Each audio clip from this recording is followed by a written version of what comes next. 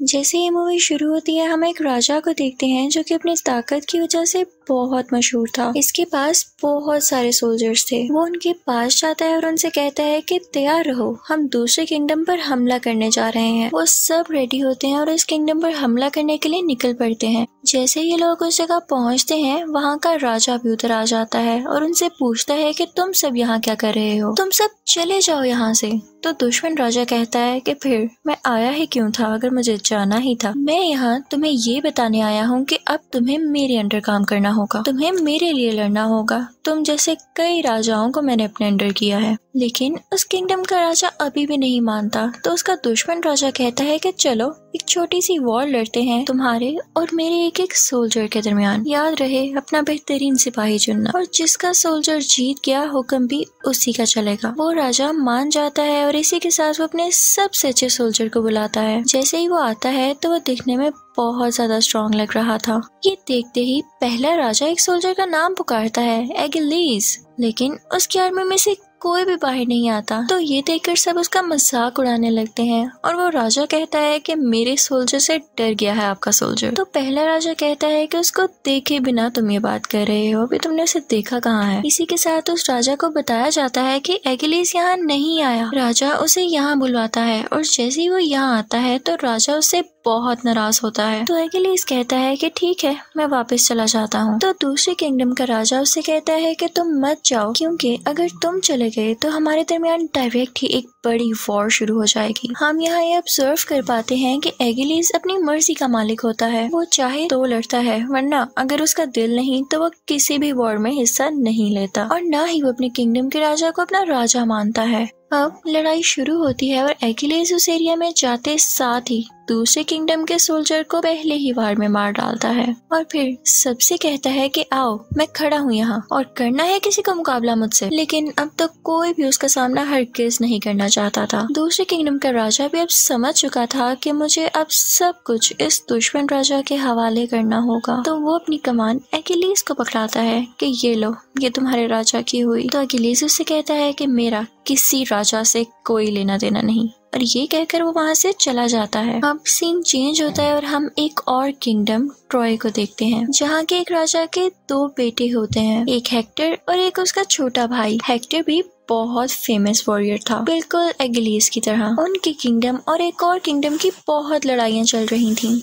लेकिन अब ये लोग उनसे सुलह करना चाहते थे। हेक्टर और उसकी आर्मी वहाँ जाती है और वो लोग इन्हें बहुत अच्छे से होस्ट करते हैं, इन्हें तरह तरह के खाने खिलाते हैं। इस किंगडम का राजा जहाँ पर ये लोग आए थे, वो उसका छोटा भाई होता है जिसका एक्लीज सोल्जर था। इस राजा की वाइफ यानी रानी बहुत यंग और प्यारी होती है। अब इन दिनों के दौरान हेक्टर का छोटा भाई उसे पसंद करने लगता है। और जब वो टाइम आता है कि हेक्टर और उसका छोटा भाई यहाँ से चले जाएँ, तो हेक्टर का छोटा भाई उस रानी को भी अपने साथ ले आता है। हेक्टर को ये बात अभी तक पता ही ना थी लेकिन उसका भाई उसे कुछ टाइम बाद उसको सारी बात बता देता है। हेक्टर उसे बहुत डांटता है कि हम सुलह करके आ रहे हैं और तुमने एक नई जंग तैयार कर ली। वो फैसला करता है कि वो रानी को वापस छोड़ कर आएगा और माफ़ी भी मांगेगा। लेकिन उसका भाई कहता है कि मैं हर किस ऐसा होने नहीं दूँगा। ये जहाँ जाएगी, मैं इसके साथ हूँ अब हेक्टर कुछ नहीं कर पाता और उसे उसकी बात माननी ही पड़ती है। जब उस किंगडम के राजा को ये बात पता चलती है तो अपने भाई से कहता है की ये कैसी सुलह हुई? ये तो सरासर धोखा हुआ। अब मैं इनको नहीं छोड़ूँगा। इन पर हमला करूँगा क्योंकि इन्होंने मेरी बीवी को चुराया है। उसका भाई कहता है कि मैं तुम्हारे साथ खड़ा हूँ भाई। इनफैक्ट वो भी ट्रॉय पर कब्जा करना चाहता था। अब वो लोग चाहते थे कि इस वॉर में एगिलीस भी उन्हें ज्वाइन करे। लेकिन जब एगिलीस से पूछा जाता है तो वो उन्हें साफ़ साफ़ मना कर देता है। क्योंकि वो राजा काफ़ी जालिम था और एगिलीस था कुल किस्म का बंदा। इसलिए वो उसके लिए लड़ना ही नहीं चाहता था। रात को वो राजा खुद ही प्लान कर रहा होता है कि किस तरह से ट्रॉय पर अटैक करना है। तो वहाँ एक आदमी उसे कहता है कि एगिलीस के बगैर ये तो इम्पॉसिबल है। तो वो आदमी उसे कहता है कि आप उससे बात तो करके देखेंगे, बहुत बड़ी वॉर होने वाली है। तो वो राजा एगिलीस के पास एक आदमी को भेजते हैं, जो जाके अगलीस से कहता है कि ये हमारी इज़्ज़त का मसला है। ये बहुत बड़ी वॉर होने वाली है। और अगर तुम हमारे साथ लड़ोगे तो लोग तुम्हारा नाम हमेशा याद रखेंगे, और तुम यही तो चाहते हो। एकिलीस चाहता भी यही था तो ये सुनकर वो खामोश हो जाता है। एकिलीस मशवरा करने के लिए अपनी मदर के पास जाता है तो उसकी माँ से कहती है कि ये जंग बहुत भयानक होने वाली है, और कोई नहीं जानता कि अगर तुम यहाँ जाओ तो वापस आओ भी या नहीं। लेकिन एक बात ज़रूर है, अगर तुम इस जंग में मारे गए तो लोग तुम्हारा नाम रहती दुनिया तक याद रखेंगे। अब हम देखते हैं कि ये सब लोग उस जंग की तैयारी में बहुत सारी शिप्स लेकर निकल पड़ते हैं। दूसरी तरफ़ हम हेक्टर को देखते हैं, जो कि अपने फादर के पास जाता है, यानी ट्रॉय के किंगडम के राजा के पास वो कहता है कि हमें उस राजा की बीवी को वापस छोड़ाना चाहिए इससे पहले कि बहुत बड़ा हमला हो और हम सब मारे जाएँ।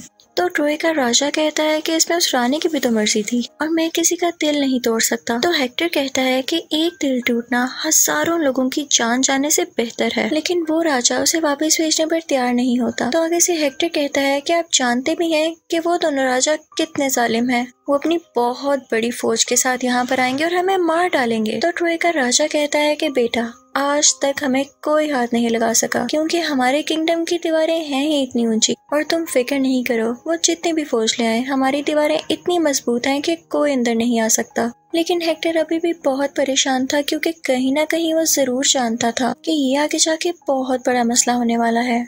दूसरी तरफ़ हम देखते हैं कि वो दोनों राजा ट्रॉय किंगडम पर हमला करने के लिए बहुत सारी शिप्स लेकर और आर्मी लेकर निकल पड़ते हैं। लेकिन समंदर में उनके बहुत आगे एक और शिप होती है। उन्हें पता चलता है कि ये शिप तो गिलीस की है। राजा कहता है कि अब क्यों आया है ये? कहीं इसका कोई और मकसद तो नहीं है? ये इसलिए तो नहीं आगे ये वहाँ जाकर खुद वो जगह फतेह कर ले। अभी वो लोग ये सोच ही रहे होते हैं कि एगिलीस वहाँ पर पहुँच उन सब सोल्जर से खुद ही लड़ना शुरू हो जाता है। उसकी इतनी शानदार लड़ाई देखकर शिप में मौजूद सारे के सारे सोल्जर उसका नाम पुकारने लगते हैं, उसे चेयर अप करने लगते हैं। ये देखकर राजा को काफ़ी गुस्सा आता है कि हमेशा से ऐसे हुआ, जितने भी वॉर्स हमने लड़ी, उसमें एकेलीस का ही नाम लिया गया। किसी की नज़र में मेरी कोई इज़्ज़त ही नहीं है। एकेलीस अंदर जाके वो सब जगहों को लूट लेता है और तभी वहाँ पर आ जाता है हेक्टर एकेलीस उससे कहता है कि मैं तुमसे नहीं लड़ूँगा। असली वॉर कल स्टार्ट होगी तुम्हारे और हमारे दरमियान। फिर हम देखते हैं कि एकेलीस एक खेमे के अंदर चला जाता है और वहाँ पर एक लड़की होती है जो कि रो रही होती है। उसे एकेलीस के लोगों ने ही दूसरी औरतों के साथ कैद किया था। वो इनफेक्ट हेक्टर की कज़न थी। वो कहती है कि तुमने हमारे लोगों को मारा। हम इसका बदला ज़रूर लेंगे। अखिलेश उसके पास जाता है और कहता है कि तुम्हें मुझसे डर लग रहा है।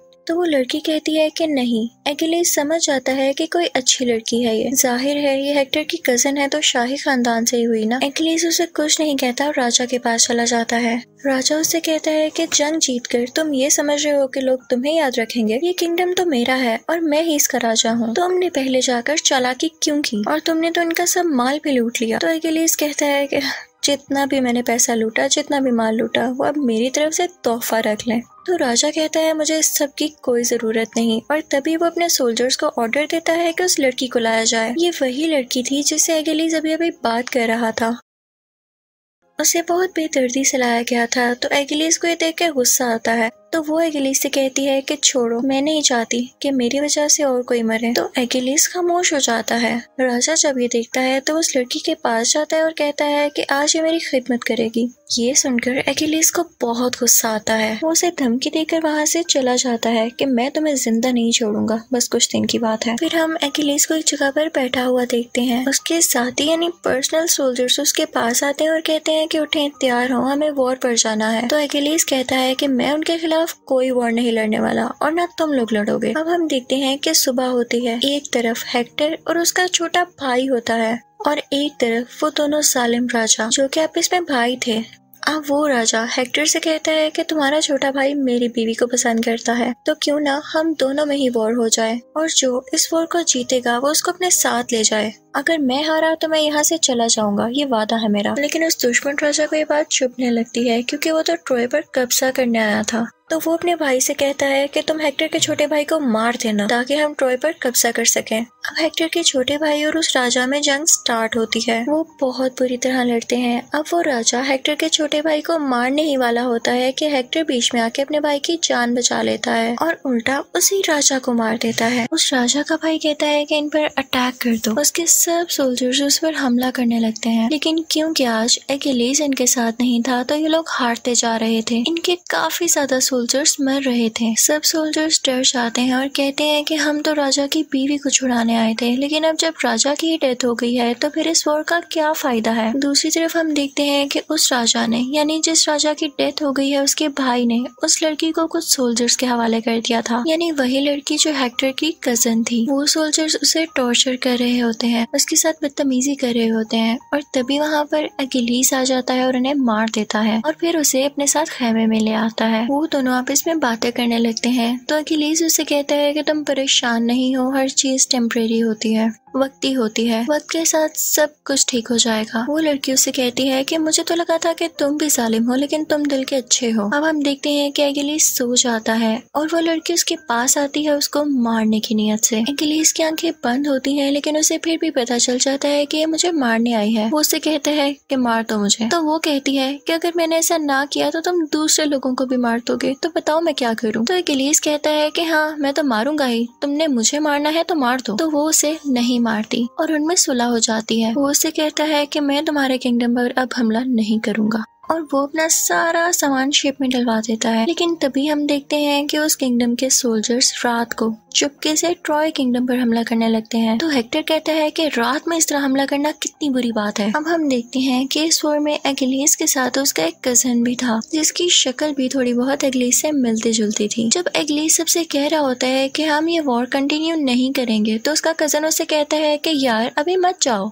हमें ये वॉर कंटिन्यू करनी चाहिए। लोगों ने इतनी जाने कुर्बान की, इसका क्या फ़ायदा? लेकिन एगिलीस नहीं मानता। तो वो चुपके से एगिलीस का ड्रेस शील्ड और तलवार वगैरह लेकर खुद ही वॉर में चला जाता है और सोल्जर से कहता है कि चलो, वॉर शुरू करते हैं। सब लोग यही समझते हैं कि शायद ये एगिलीस है और उसके पीछे जाने लगते हैं। लेकिन जैसे ही उसका सामना हेक्टर से होता है तो हेक्टर उसे मार देता है और बहुत खुश होता है। उसे लग रहा था कि उसने एगिलीस को मार दिया, लेकिन उसे पता चलता है कि ये तो उसका कज़न था। अब ये बात जब एगिलीस को पता चलती है तो उसे बहुत गुस्सा आता है और वो ट्रॉय किंगडम के बाहर जाके खड़ा हो जाता है, उनकी दीवारों के बाहर। वो हेक्टर को आवाज़ देने लगता है और अब हेक्टर बाहर आ चुका था। उन दोनों में बहुत लड़ाई होती है। यहाँ पर एगलीस हेक्टर को हमेशा के लिए मौत की नींद सुला देता है। उसे मार देता है। फिर एगलीस हेक्टर की डेड बॉडी को घसीटता हुआ अपने साथ ले जाता है। रात को खेमे में हेक्टर का बाप यानी ट्रॉय का राजा वहाँ पर आता है और कहता है कि मुझे मेरे बेटे की डेड बॉडी दे दो। मैं उसे वो एहसास देना चाहता हूँ जो एक मरने वाले वॉरियर को दिया जाता है। तो एक एलिस उससे कहता है कि क्या आपको डर नहीं लग रहा मौत से? मैं चाहूँ तो आपको भी मार सकता हूँ। तो वो राजा एक एलिस से कहता है कि तुम्हें क्या लगता है? जिसका जवान बेटा मर गया हो, उसे मरने की और ज़रूरत है। तो एक एलिस उसे उसके बेटे की लाश यानी डेड बॉडी लुटा देता है। सब लोग बहुत उदास होते हैं क्योंकि हेक्टर वाकई बहुत अच्छा वॉरियर और इंसान था और लोग उसे बहुत मिस कर रहे थे। इसके साथ साथ एकेलीज उसे कहता है कि आपके बेटे के मरने के गम में मैं आपको बारह दिन का रेस्ट देता हूँ और इसके साथ वो हेक्टर की कजिन को भी रिहा कर देता है आसाद कर देता है। और कहता है कि 12 दिन तक मैं आप पर कोई हमला नहीं करूँगा। जब एकिलीस के राजा को ये बात पता चलती है तो वो गुस्से से आग बगोला हो जाता है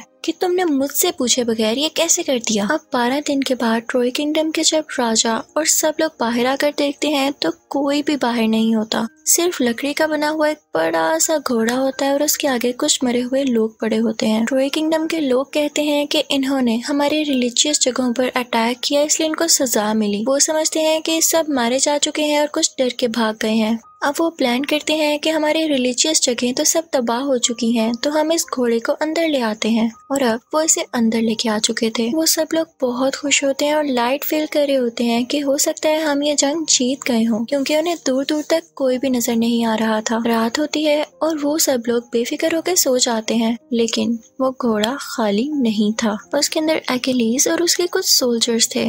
एगिलीस का राजा भी कुछ सोल्जर्स के साथ उस कैसल के बाहर छुपा हुआ था, जैसे ही रात होती है। एगिलिस मौका देखकर उस घोड़े से बाहर आता है और ट्रोए किंगडम के सारे दरवाजे खोल देता है, जिससे वो राजा और सब सोल्जर्स अंदर आ जाते हैं। वो अंदर आके सब लोगों को मार देते हैं और वो सालिम राजा ट्रोय किंगडम के राजा को भी मार देता है। फिर हम हेक्टर की कजिन को देखते हैं, जो कि दुआ मांग रही होती है कि सब ठीक हो जाए। लेकिन तभी पीछे से वो सालिम राजा आता है और उसके साथ बदतमीजी करता है। वो लड़की अपना चाकू निकालती है और उसे मार देती है। उस लड़की को पकड़ने के लिए दो सोल्जर्स आगे बढ़ते हैं, लेकिन एकेलीस वहाँ पर आ जाता है और उन दोनों को मार देता है। इसी टाइम वहाँ पर हेक्टर का छोटा भाई आ जाता है। वो एकेलीस के पाँव पर तीर फेंक देता है, जो कि उसके पाँव के आर पार हो जाता है। लेकिन एगिलिस फिर भी खड़ा होता है और उसकी तरफ़ बढ़ता है ताकि उसे मार सके। लेकिन इसी दौरान हेक्टर का छोटा भाई उसे और तीर मार देता है, जिसकी वजह से एगिलिस काफ़ी वीक हो जाता है और वहीं पर गिर जाता है। पीछे से हेक्टर की कज़न हेक्टर के छोटे भाई को मना कर रही होती है कि प्लीज़ ऐसा नहीं करो, उसे नहीं मारो। लेकिन वो उसकी एक नहीं सुनता। एकेलीस उस लड़की से कहता है कि तुम यहाँ से चली जाओ। तुम इसके साथ चली जाओ, क्योंकि पूरा ट्रॉय किंगडम तबाह होने वाला है। वो जाना नहीं चाहती थी, पर उसे जाना पड़ता है। एकेलीस वहाँ पर मर जाता है। फिर हम देखते हैं कि अकेलेस को जला दिया जाता है, और उससे उठता हुआ धुआँ। विक्टर की कज़न दूर से देख रही थी, और इसी के साथ इस मूवी की सैड एंडिंग हो जाती है। Thank you for watching